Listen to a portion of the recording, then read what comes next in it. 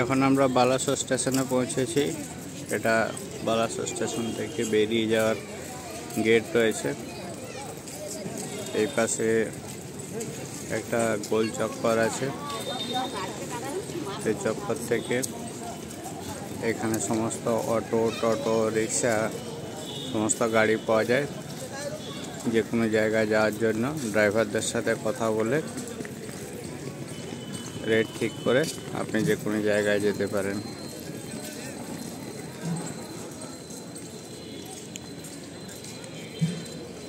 একখানা Indian national flag দেখতে পাচ্ছি।